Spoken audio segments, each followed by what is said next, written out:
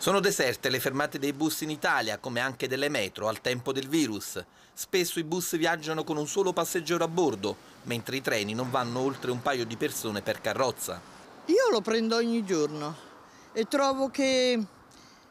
Dunque, è una cosa buona questa che l'ATAC abbia continuato a, a, a fare il servizio perché però anche una sola persona che ne ha bisogno è giusto che ce l'abbia. Faccio la mattina la prima metro e poi prendo l'autobus normale e vado al lavoro.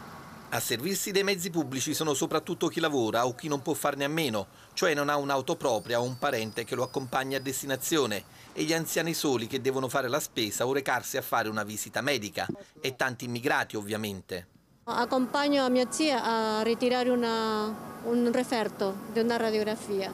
Soltanto siamo usciti per l'appuntamento che avevamo oggi. Prende il bus ogni giorno? Sì, tutti, no, tutti i giorni non esco, quasi tutti i giorni. Quando c'è da fare un po' di spesa allora esco io.